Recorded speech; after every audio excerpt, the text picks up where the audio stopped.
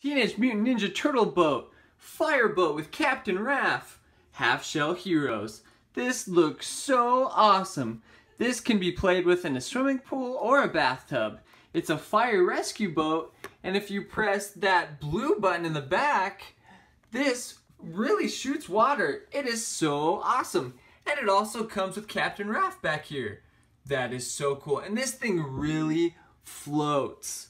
Totally rad. And this is what the back of the box looks like.